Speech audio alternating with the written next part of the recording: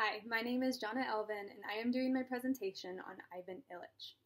Ivan Illich was born September 4th, 1926. He traveled the world extensively throughout his lifetime and saw much of the 20th century unfold. He became most recognized in the 1970s for many of his published works, one of the main books being Deschooling Society, which talked about his ideas of taking away school as an institution together uh, altogether. Some of the main reasons being concern, uh, him being concerned with what many people thought about what a real education was or what a real learned person looks like. He was also concerned about the less technologically developed countries being exploited. And he was also concerned that schools were operating in a way that were counterintuitive to its original purpose. So he Illich saw this trend that schools were turning learning into a thing rather than a natural process. Uh, he points out that the process of learning uh, was becoming a thing to be acquired rather than just a part of being. And for example, we don't need to go to walking school to learn how to walk, and that was his point.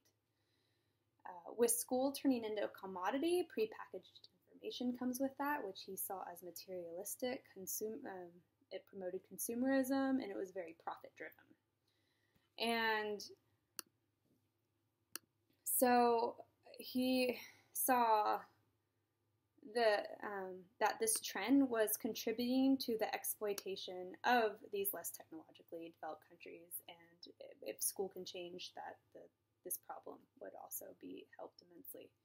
And he also saw those who were self-learned or alternatively learned somehow uh, to be in a position to be discriminated against. So it's important to point out that Illich did not oppose the school altogether. He went to school himself. He just saw school crossing this line or this threshold that that where it just no longer was doing what it was supposed to be doing.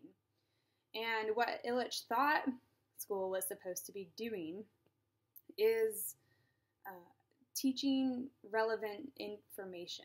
So it could be best summed up in his interesting idea that instead of television installation, we should hand out everyone tape recorders. Uh, his reasoning behind this is that television transmits information to you that uh, had more to do with market driven, profit driven, consumerist ideas. Whereas tape recorders, people in the community could record what they know, take it to the library, and have accessible knowledge for anyone who wants to know something.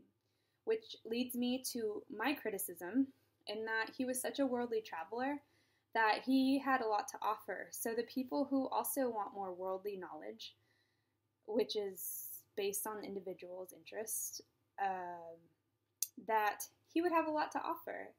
And I think that school institutions have a lot to offer in those resources. So, someone like me who would want to know more about the world really appreciates the resources that formal institutions have to give. Uh, another outside criticism, a main one of his, was that his ideas were not applicable to real life. Like, if we took away schools altogether, what would that look like, and how do we do that? Uh, so, what his impact, I think, was really subtle in that he, his ideas more just resonated with other philosophers like Paulo Freire and yeah, his friends and fellow philosophers, he, his ideas just resonated with them and, and to other philosophers who had more of a direct impact on education. But I also see him all of a sudden having this impact on postmodern philosophy because postmodern philosophy is all about deconstruction, deconstructivism, which is what many of Illich's ideas are all about. And he, I think, instead of doing away with school altogether, I think Illich would really agree with helping schools get back to their main purpose through this deconstructivism taking apart what we're learning and why we're learning what we're learning and why it was chosen for us to learn to make it more relevant to us. So thank you. That is much as I could sum up in five minutes about Ivan Illich, and have a good day.